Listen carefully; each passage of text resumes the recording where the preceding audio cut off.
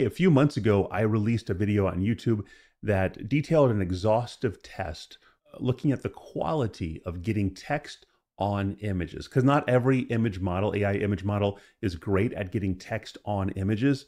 And so I did this exhaustive test. This video right here is an update to that because I've added two new image models to this test Qwen, if I'm saying that correctly, Q W E N, and then also Seedream 4. There's a link to this test. To It's a Canva sheet essentially. There's a link to this in the description down below. When you click the link and you get here, you don't even need to log in to view this. When you get here, you can look around and check this stuff out. You can zoom in. And these are all like super high quality images. They're at the original resolution, so hmm. very high quality.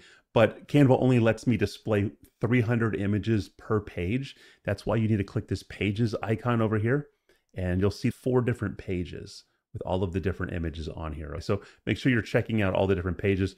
Let me explain how this test works. So you scroll up to the top, just get some details about this. I generated all of these inside of my AI writing software called ZimmWriter. You can learn more about it here. You can plug in all of your API keys into ZimmWriter and just generate your images at cost, whatever those providers, uh, whether it's Runware or FAL or Google charges you for for those images. I also have a bunch of free courses that you can read about up here. Now, here's how you read this test. Each column is a different prompt that I ran against all of these different image models. So this this prompt right here, you can zoom in and see. This is like a prompt that said make a this image with the words zesty Latin inspired Thanksgiving turkey recipe. I give some details about it. So I ran this identical prompt on all of these different image models, and you can compare the quality of them and also the creativity of them. And I did three tests for each model because sometimes those models are going to screw up. They're going to have like typographical errors or things like that. So by doing at least three three tests per model, you can get a better feel for how good is the text. Was it missing any words? Are there any misspellings? And then also, how's the creativity? You might get one one image that's pretty creative, but then the other two are not creative at all. Like this, as an example, HiDream Fast, that's creative. These look bland over here. So that's how you should kind of look at this test. And then each row so each column is a different prompt. This is a prompt for this column. This is a different prompt for this column. And then each row is the identical image model across these different prompts. Right here, we have ideogram 3 quality, this entire uh, row right here. So you can get a feel for how this particular model does with different types of prompts. And again, all of these prompts are for the situation of getting text on an image. These are the same models, but again, just different prompts. So check it out at your leisure. And now let's just look really quickly at these last two image models and see how they fare. So we added Qwen and then also Seedream. High level, I'm not too impressed with Qwen. It's supposed to do a good job at rendering text, but I've noticed that there's a lot of spelling errors with the model. And then you don't get the realism that I would expect. So here's this Pinterest style image with a turkey on it. This is like a rubbery, real fake looking turkey. Right. Whereas down here with the Seedream 4, we got a very realistic looking turkey. So I've noticed that a lot. Here's fiery Nashville, hot, ruckin, good, that good recipe. Like it's all spelled wrong. It's supposed to be fiery Nashville hot chicken recipe that burns good. Right. Now, there are some times when it does a good job, like over here, it did a pretty decent job. Family rules, stay humble, show kindness, count blessings.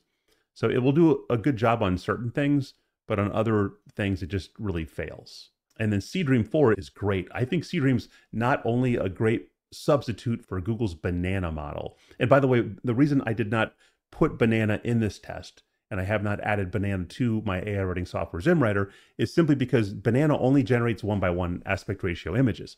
So it defeats the purpose if you're trying to generate in bulk images for Pinterest because you're just going to get one by one aspect ratio, which is kind of useless. Maybe on Facebook or Instagram or something, one by one would be okay. But in general, that's very, very limiting. Seedream has all kinds of different aspect ratios.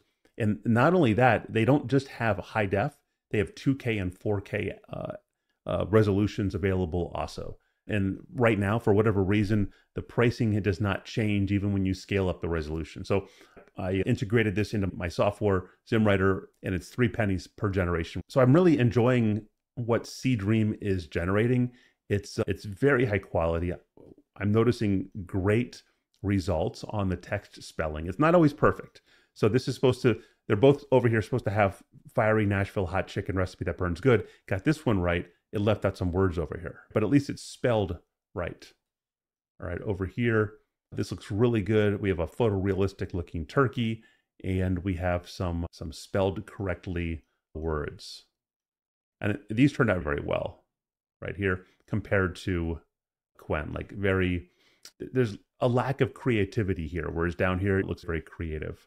So you can look through these. This looks very realistic right here, whereas this, you can tell this looks a little fake.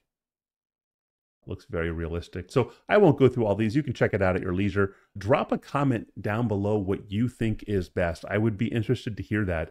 There's a lot of people who are just going and using Ideogram 3 because Ideogram 3 is pretty darn good, but it's nine cents an image. So Seedream 4 is three times cheaper. So that's definitely something that to consider as you're generating your images.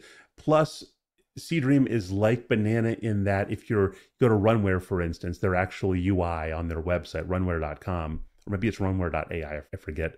You can upload your own images and then create some kind of remixed or mashup of maybe you, you upload an image of the new iPhone and I upload an image of myself and then you can say make me holding the new iPhone and it will merge the photos together. So it can do that. I don't have that integrated into ZimmWriter because it doesn't fit within like kind of the use case that ZimmWriter is designed for but you can do that with Seedreams. So I would like to hear how you guys are using this. Again, the link to this this Canva sheet is in in the description down below. Check it out at your leisure.